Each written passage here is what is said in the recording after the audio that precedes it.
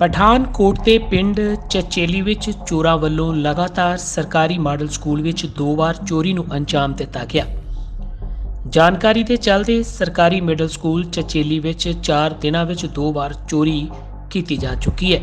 School ਦੀ principal ਨੇ ਕਿਹਾ ਕਿ ਸਕੂਲ ਵਿੱਚ 12 ਫਰਵਰੀ ਨੂੰ ਚੋਰਾਂ ਵੱਲੋਂ ਕੰਪਿਊਟਰ ਚੋਰੀ ਕੀਤੇ ਗਏ ਸੀ ਤੇ ਹੁਣ 16 ਫਰਵਰੀ ਨੂੰ ਦੁਬਾਰਾ ਚੋਰਾਂ ਵੱਲੋਂ ਕੰਪਿਊਟਰ ਚੋਰੀ ਕੀਤੇ ਗਏ ਨੇ, ਜੋ ਲੱਖਾਂ ਦੀ ਕੀਮਤ ਦੇ ਨੇ। ਜਿਸ ਦੀ ਸ਼ਿਕਾਇਤ ਸ਼ਾਹਪੁਰ ਕੰਡੀ ਥਾਣਾ ਵਿੱਚ ਪਹਿਲਾਂ ਵੀ ਕੀਤੀ ਜਾ ਚੁੱਕੀ ਹੈ ਤੇ ਹੁਣ ਵੀ ਦੁਬਾਰਾ ਕਰ ਦਿੱਤੀ ਗਈ ਹੈ। ਤੇ ਸਰ, ਬੜੇ ਦੁੱਖ ਦੀ ਗੱਲ ਹੈ ਕਿ ਇੱਕ ਹਫ਼ਤੇ ਦੇ ਵਿੱਚ ਦੋ ਚੋਰੀਆਂ ਹੋਈਆਂ ਨੇ।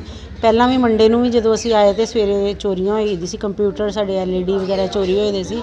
ਤੇ ਅੱਜ ਅਸੀਂ ਫੇਰ ਸਵੇਰੇ ਦੇਖਿਆ ਕਿ ਸਾਡੇ ਦੋ ਕੰਪਿਊਟਰ ਬਾਕੀ ਬਚ ਗਏ ਦੇ ਸੀ ਤੇ ਉਹ ਵੀ ਚੋਰੀ ਕਰਕੇ ਲੈ ਗਏ ਆ। ਨਾਲੇ ਕੁਝ ਸੀਡੀਜ਼ ਪਈ ਦੀਆਂ ਸੀ, ਸਾਡੇ ਕੋਲ ਪੈਨ ਡਰਾਈਵ ਸੀ, ਉਹ ਵੀ ਚੋਰੀ ਕਰਕੇ ਲੈ ਗਏ ਆ। ਤੇ ਮੰਡੇ ਵਾਲੀ ਦੀ ਵੀ ਅਜੇ ਤੱਕ ਕੰਪਲੇਂਟ ਮਤਲਬ ਐਫ ਆਈ ਆਰ ਉਹਨਾਂ ਨੇ ਦਰਜ ਨਹੀਂ ਕੀਤੀ।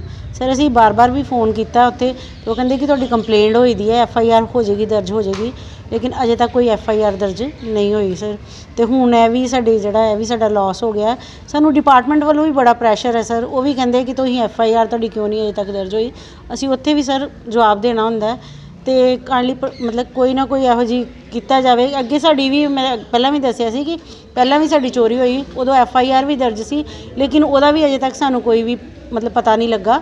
ਤੇ ਉਸ ਤੋਂ ਬਾਅਦ ਚੋਰੀਆਂ ਤੇ ਚੋਰੀਆਂ ਲਗਾਤਾਰ ਹੋ ਰਹੀਆਂ ਨੇ। ਸਰ, ਸਾਡਾ ਵੀ ਮੁਸ਼ਕਲ ਹੈ ਕਿ ਇੰਨਾ ਸਮਾਨ ਡਿਪਾਰਟਮੈਂਟ ਵੱਲੋਂ ਦਿੱਤਾ ਜਾ ਰਿਹਾ ਹੈ, ਪਰ ਜੇ ਉਹ ਸਾਰਾ ਚੋਰੀ ਹੋ ਗਿਆ, ਨਾ ਤੇ ਉਹਦਾ ਬੱਚਿਆਂ ਨੂੰ ਫਾਇਦਾ ਹੈ ਤੇ ਨਾ ਹੀ ਸਾਡੇ ਸਾਡੇ ਲਈ ਕੋਈ ਲਾਭਦਾਇਕ ਸਿੱਧ ਹੋ ਰਿਹਾ ਸਰ, ਇਸ ਕਰਕੇ ਸਾਡੀ ਬੇਨਤੀ ਇਹੀ ਹੈ ਕਿ ਛੇਤੀ ਤੋਂ ਛੇਤੀ ਜਿਹੜਾ ਇਹਦਾ ਲੱਭਿਆ ਜਾਏ। ਇਸ ਸਾਡਾ ਮਿਡਲ ਸਕੂਲ ਐਲੀਮੈਂਟਰੀ ਸਕੂਲ ਜਿਹੜਾ ਝੇਲੀ ਹੈ, ਇੱਥੇ ਲਗਭਗ ਜਦੋਂ ਦਾ ਸਾਡੀ ਪੰਚਾਇਤ ਬਣੀ ਹੈ, ਇੱਥੇ ਤਿੰਨ ਚੋਰੀਆਂ ਹੋ ਚੁੱਕੀਆਂ ਨੇ ਇਹਦੀ ਜਦੋਂ ਵੀ ਐਫ ਆਈ ਦਰਜ ਹੁੰਦੀ ਹੈ, ਪਰ ਇਹਦੀ ਰਿਪੋਰਟ ਨਹੀਂ ਮਿਲਦੀ ਸਾਨੂੰ, ਨਾ ਕੋਈ ਬੰਦਾ ਫੜਿਆ ਜਾਂਦਾ।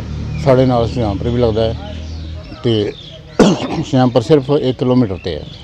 ਉੱਥੋਂ ਵੀ ਇੱਕ ਇੱਕ ਵਾਰੀ ਇੱਕ ਕੁਝ ਫੜੇ ਗਏ ਮੁੰਡੇ ਚੋਰੀ ਕਰਦੇ, ਪਰ ਉਹਦੇ ਬਾਰੇ ਵੀ ਕੋਈ ਸਾਨੂੰ ਸਮਾਨ ਪ੍ਰਾਪਤ ਨਹੀਂ ਹੋਇਆ, ਬਰਾਮਦ ਨਹੀਂ ਹੋਇਆ।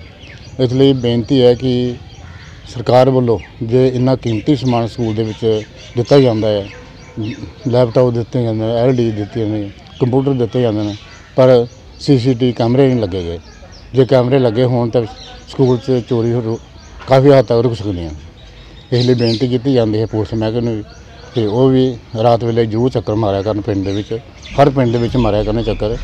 ਉਧਰ ਮੌਕੇ ਤੇ ਪੁੱਜੇ ਡੀਐਸਪੀ ਰਜਿੰਦਰ ਮਿਨਹਾਸ ਨੇ ਕਿਹਾ ਕਿ ਸਕੂਲ ਵਿੱਚ ਚੋਰੀ ਦੇ ਚੱਲਦੇ ਉਹਨਾਂ ਨੂੰ ਸ਼ਿਕਾਇਤ ਮਿਲੀ ਸੀ ਤੇ ਉਹਨਾਂ ਕਿਹਾ ਕਿ ਜੋ ਵੀ ਚੋਰ ਹੈ ਉਸ ਨੂੰ ਬਖਸ਼ਿਆ ਨਹੀਂ ਜਾਵੇਗਾ ਤੇ ਇਹ ਜਲਦੋ ਸਲਾਖਾਂ ਦੇ ਪਿੱਛੇ ਹੋਣਗੇ। ਹਾਂਜੀ, ਪਤਾ ਲੱਗਾ ਸੀ ਚੋਰੀ ਹੋਈ ਆ। ਮ- ਮੈਡਮ ਪ੍ਰਿੰਸੀਪਲ ਨੇ ਇਨਫੋਰਮੇਸ਼ਨ ਦਿੱਤੀ ਸੀ ਕੰਟਰੋਲ ਰੂਮ ਤੇ। ਐਸਐਚਓ ਸਾਹਿਬ ਵੀ ਮੌਕੇ ਤੇ ਆਇਆ ਮੈਂ ਵੀ ਆ ਕੇ ਮੌਕਾ ਵੇਖਿਆ। ਸੋ, ਇੱਥੇ ਪਹਿਲਾਂ ਵੀ ਇੱਕ ਦਿਨ ਚੋਰੀ ਹੋਈ ਸੀ।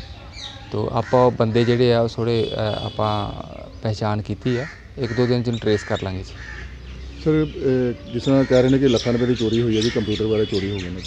ਨਹੀਂ ਦੇਖੋ ਕੰਪਿਊਟਰ ਹੈ ਮਹਿੰਗੇ ਤੇ ਹੈ ਹੀ ਆ ਚਾਹੇ ਮਹਿੰਗੇ ਆ ਚਾਹੇ ਸਸਤੇ ਆ ਚੋਰੀ ਚੋਰੀ ਆ ਜੀ। ਆ ਸਾਡਾ ਕੰਮ ਹੈ ਚੋਰੀ ਹੋਈ ਆ ਉਹਨੂੰ ਟਰੇਸ ਕਰਨਾ ਤੇ ਚੋਰ ਫੜਨੇ। ਉਹ ਆਪਾਂ ਫੜ ਲਵਾਂਗੇ ਜੀ। ਪਠਾਨਕੋਟ ਤੋਂ ਚੰਡੀਗੜ੍ਹ ਖਬਰਨਾਮਾ ਲਈ ਅਨਮੋਲ ਸ਼ਰਮਾ ਦੀ ਰਿਪੋਰਟ।